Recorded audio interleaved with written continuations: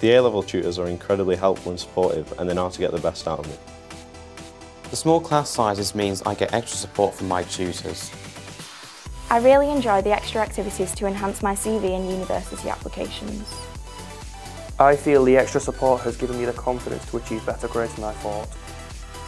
My A-level course allowed me to focus my career and now I have my first choice university offers.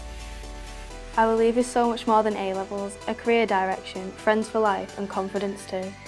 Having small class sizes is really good because you can get one-to-one -one teaching with your teachers, good relationships with them and more help. You get a lot more attention from the lecturer, it's much easier to understand because obviously it's a much quieter environment. You can get the attention you need. It feels like I'm having a tutoring session with my teachers and it helps to build confidence because it's easier to speak out in front of everyone in the lessons. Every teacher always seems to be available Everybody's always happy to help and always wants to help.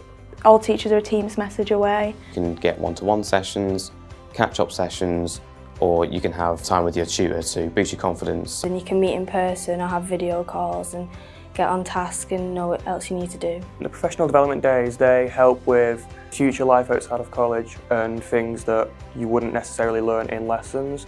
For example, we had a guest speaker talk about teaching and I found that really interesting. We get the chance to speak to high profile people such as politicians like David Blunkett and Alastair Campbell. And it really helps with coming up with like designing your own careers for the future. It's also brilliant when we go on trips as well. We went to London recently to Parliament and museums and it's brilliant for like just enrichment in general really.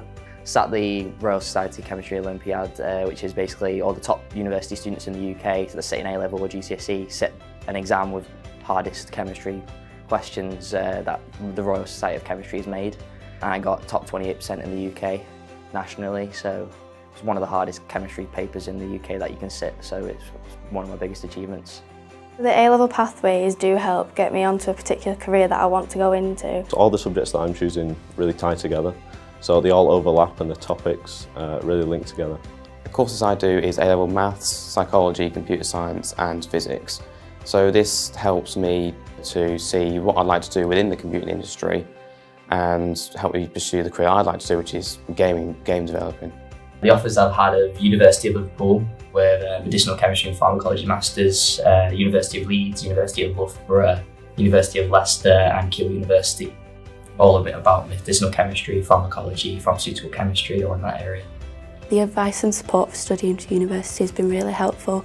In tutorial sessions, we wrote personal statements and spoke about universities and with our tutors, they also helped us pick what universities would be best for us for our futures. We went on a, a trip to Edgehill University and after that, that's where I really wanted to go and study computer science. They brought in external speakers to tell us what would look good on a university application and which things we've done on PD days that are really helpful. Even in first year they speak to us about what's put on our UCAS forms, personal statements and obviously it starts next year but we're getting taught now so we're ready for that and we're ready for the future. I think that the best thing about doing A-levels at Wigan and Leigh College is to be able to learn, to work in a community with everyone different university offers apprenticeships, careers and also the opportunity to do AS levels, extra qualifications and different trips, talks with employers, that sort of thing. Everybody supports each other and everybody knows each other so we can always ask someone. Everybody's really supportive, it's close-knit.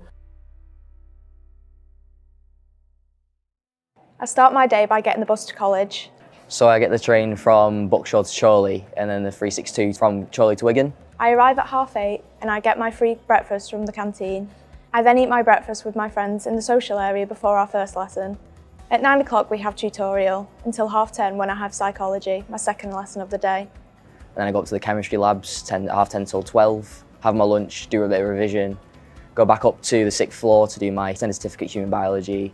After which at three o'clock we have biology until half four when we can do whatever we want, go home, socialise or revise. And then I get back on the bus to Chorley and the train to Buckshaw Village.